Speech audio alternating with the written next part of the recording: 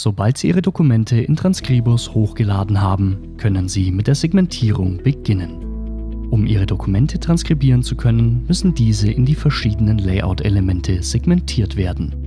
Wir unterscheiden die folgenden Layout-Elemente. Page. Dies ist die höchste Hierarchieebene und entspricht, wie der Name schon sagt, der gesamten Seite. Print Space. Dies ist der Druckbereich, der sich von der gesamten Seite auch unterscheiden kann, hier in Violett gekennzeichnet. Text Regions. Dies sind die Textregionen, in denen eine oder mehrere Zeilen Text vorhanden sind, in Transkribus an der Farbe grün zu erkennen. Line Regions.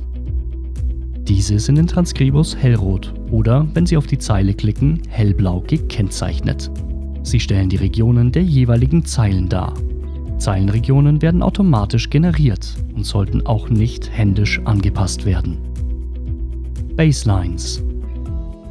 Das etwas dunklere Rot zeigt die jeweilige Baseline, also die Grundlinie einer Textzeile an. Alle segmentierten Layout-Elemente werden mit ihren Koordinaten gespeichert, nachdem eine Layout-Erkennung durchgeführt wurde. Dies können Sie links im Layout-Tab auch sehen. Wie das geht, schauen wir uns gleich an. Zunächst gehen wir aber noch kurz auf das Anzeigen von Profilen ein. Für die verschiedenen Aufgaben, die Sie in Transkribus ausführen können, stehen unterschiedliche Ansichtsprofile zur Verfügung. Über die Schaltfläche Profiles im Hauptmenü können Sie zwischen Transcription und Segmentation wählen. Im Profil Transcription wird das Texteditorfeld angezeigt, in dem die Transkription händisch oder mit Hilfe eines Modells eingefügt wird.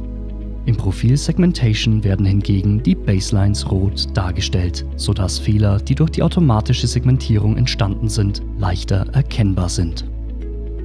Neben diesen beiden Profilen können Sie auch das Standardprofil verwenden, mit dem Sie beide Aufgaben erfüllen können.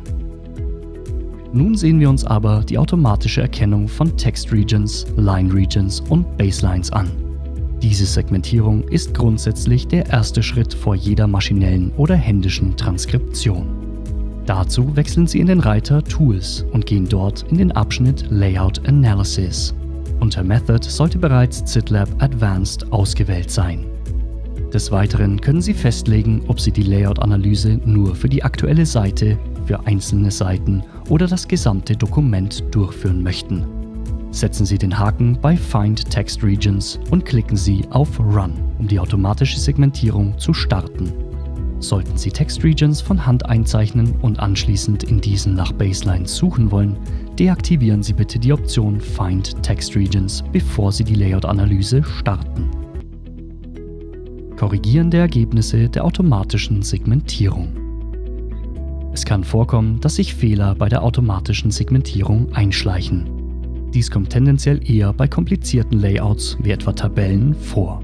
Bei einfachen Layouts wie etwa den Liebesbriefen von Opa an Oma sollten normalerweise keine großen Layout-Fehler auftauchen. Um diese zu kontrollieren oder anzupassen, wechseln Sie bitte ins Ansichtsprofil Segmentation. Bitte beachten Sie, dass die Position der Text Regions nicht ganz exakt sein muss und die Lesereihenfolge des Textes nicht relevant ist, wenn Sie ein HTR-Modell trainieren. Wenn Sie jedoch an einer wissenschaftlichen Ausgabe arbeiten, bei der ein höherer Grad an Genauigkeit erforderlich ist, ist es möglich, den Text manuell zu korrigieren. Alle Werkzeuge für Korrekturen an der Layout-Analyse finden Sie im Canvas-Menü links neben dem Bild. Um die Funktion der verschiedenen Werkzeuge zu illustrieren, hier einige Beispiele. Hat die automatische Segmentierung eine Zeile übersehen, können Sie diese in die vorhandene Textregion einfügen, indem Sie in den Bereich klicken, sodass er hervorgehoben wird und anschließend den Rand der Textregion nach Bedarf ziehen.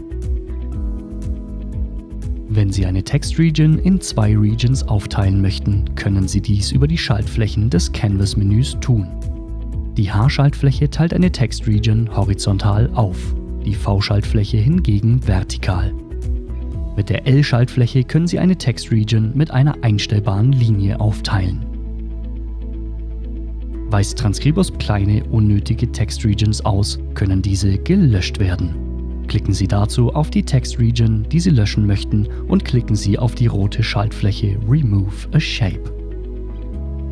Werden bei der automatischen Segmentierung zwei Text-Regions erzeugt, obwohl nur eine nötig wäre, können diese zusammengeführt werden.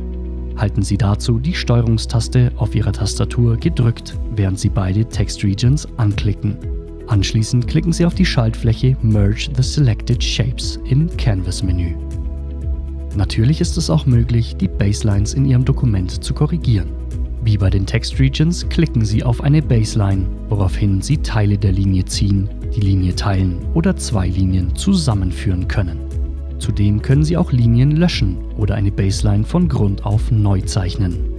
Klicken Sie dazu im Canvas-Menü auf die Schaltfläche Plus BL.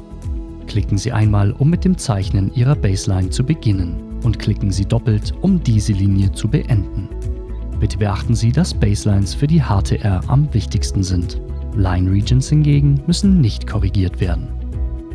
Ein wichtiger Hinweis an dieser Stelle. Wenn man eine manuelle Baseline erstellt, erscheint ein Dialogfeld, das fragt, ob auch eine Parent Line erstellt werden soll. Dasselbe beim Löschen einer Baseline. Es ist wichtig, dieses Fenster zu bestätigen. Korrekturen sollten immer an den Baselines und nie an den Line Regions gemacht werden. Die Line Regions werden von Transcribus immer automatisiert im Hintergrund erstellt und werden bei Korrekturen automatisch angepasst. Nun kennen Sie sich mit der Layout-Analyse im Transcribus Expert Client aus. Beim nächsten Video widmen wir uns der automatischen Texterkennung.